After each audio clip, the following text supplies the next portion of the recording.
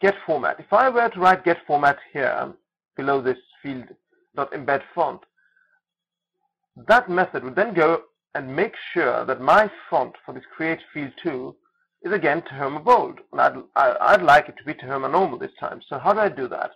So instead of writing Tahoma bold, if I could pass a parameter out of this method, which would then allow me to define the font within these two methods here, I could then keep this method universal. So I've explained it to you in a technical sense.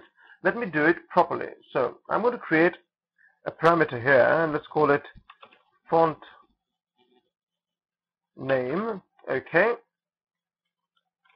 And typify that as a font. Fine.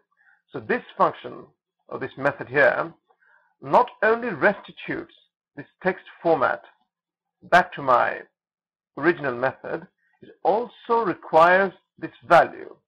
So instead of writing Tahoma bold here, now I'm going to write font name.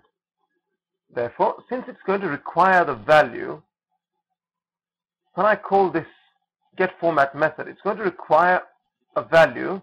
I'm going to pass the value here, Tahoma bold. So when I run it now, one second, let me check. Okay, I found two problems really. Basically, there's an S missing here, and there's the letter N missing here. So I've definitely become dyslexic now. When I run it, everything is running fine. This is my title. So when this private method here gets run, not only does it require a value, which it gets from here, and then passes on to here. So basically this piece of text becomes Tahoma underscore bold dot font name as it was before.